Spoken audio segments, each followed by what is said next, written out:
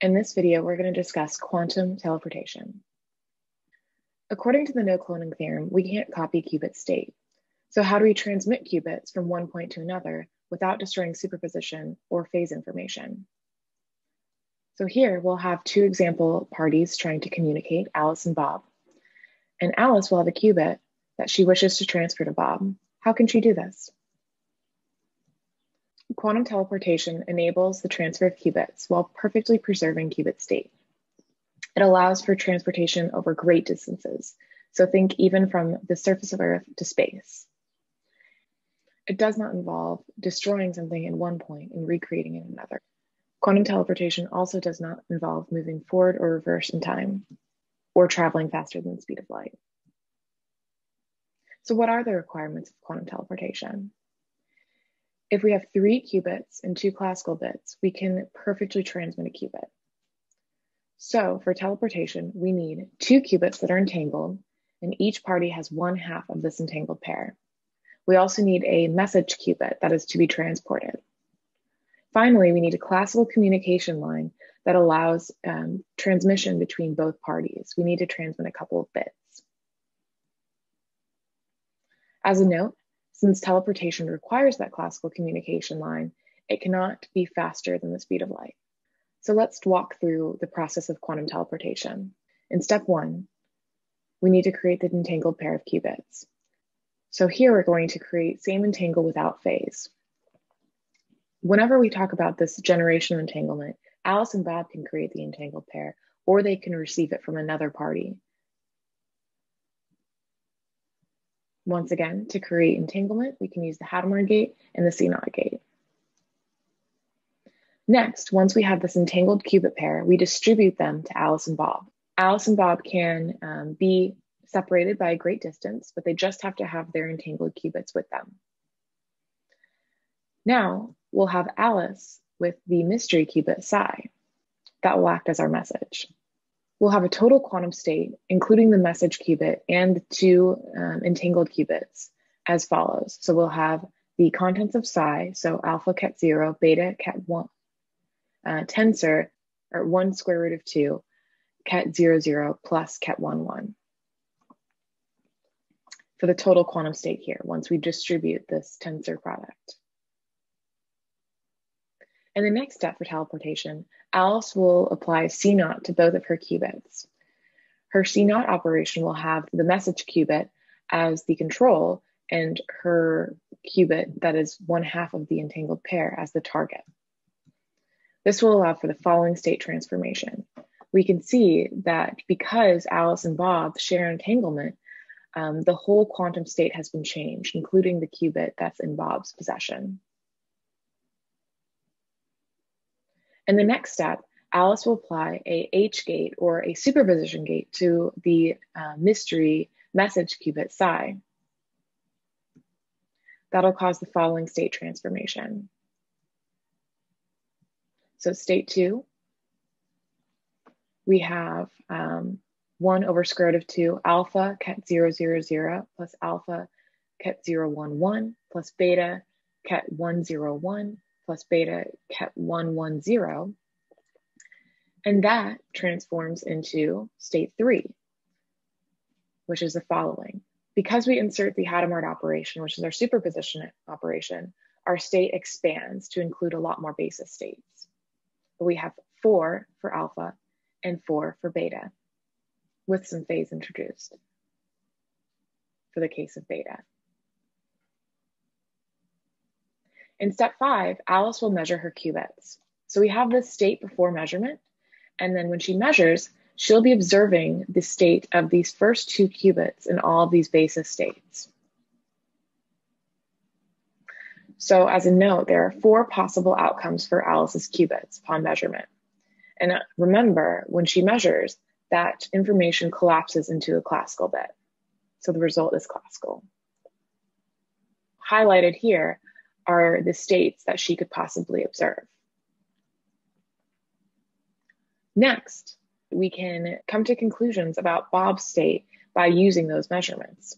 If Alice sees a zero, zero, we narrow down the state of the entire system to include those only that include the zero zero state for the first two qubits. So that would be these two here. So with her measurement information, we were able to come to some conclusions about what the state of that final qubit will be. If we have a measurement of zero zero for Alice, the value of Bob's qubit is alpha ket zero plus beta ket one. If Alice measures a one one, the value of Bob's qubit is alpha ket 1 minus beta ket 0. And we can see that by looking at um, our state and um, the properties of that particular basis state for the state where we have Alice's qubits in state 1, 1. After measurement, Alice transmits her two classical bits to Bob. Bob receives those classical bits and has to correct the state of his qubit in order to recover the original state of psi, which is alpha ket 0 plus beta ket 1. Remember, if Alice measures these following bit combinations, the value of Bob's qubit will be reflected. So with that in mind, how does Bob correct his qubit? To recover psi, Bob has to do the following. If bit 1, which is the first bit that Alice has measured,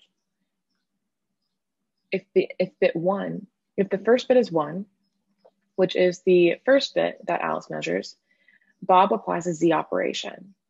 If bit zero is one, which is the second bit Alice measures, then Bob will apply a NOT gate or an X gate. So we can see that here. Here are our correction gates. If Alice measures a zero, zero, we don't need correction. Bob already has the uh, recovered state for psi, the message qubit. If Alice measures a zero, zero, Bob already has the state of psi in his possession.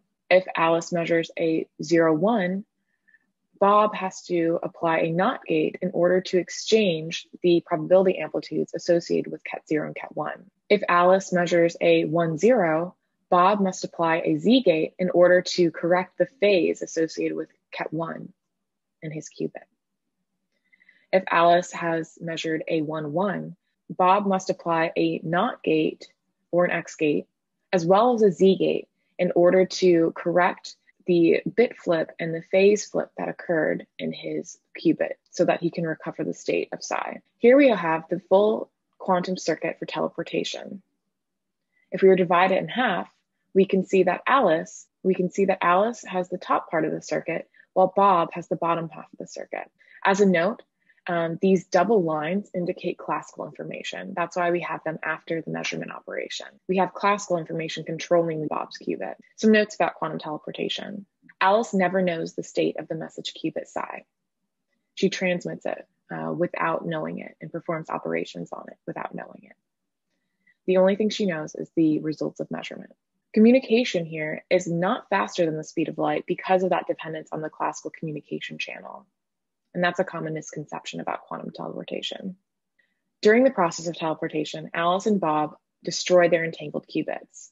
So if we want to uh, transmit more qubits, we need to generate more entanglement and distribute it. Finally, uh, quantum teleportation has been experimentally demonstrated many times in the lab. Um, and it's a good example of where quantum computing shows an advantage over classical methods. In fact, in 2017, qubits were teleported from Earth to space. Why is teleportation beneficial? Well, first, the actual transmission itself is faster because we're using classical lines to assist us. This is because moving qubit states over large distances is a little bit slow and error prone. So the fact that we're transmitting classical bits to help us transmit that qubit, uh, that allows us to complete the procedure of qubit transfer much quicker. Second, moving known states is a lot more reliable than unknown states. So this allows us to move qubits that are in the same entangled state so that we can pre-share many qubits in advance for later teleportation procedures. And then whenever you want to transmit that unknown qubit state, you can do so very quickly with the help of that classical communication channel. Next, there's the option to use parallelization during teleportation procedures. What does this mean exactly? This means that we can take that slow qubit that's being transmitted, and at the same time, its pair can do quantum calculations. The resulting delay is then only in the classical line uh, that is being used for transmission and the gates that are used to reproduce the teleported qubit at its destination. Some applications of teleportation include reducing computation errors in the form of noise resistant quantum gates and error correcting codes. Teleportation can also be used to unite quantum computers to form networks. Additionally, teleportation can be applied to create ultra secure communications channels. This is because when qubits are transferred, they're transferred with ultimate privacy. Eavesdroppers cannot read the messages.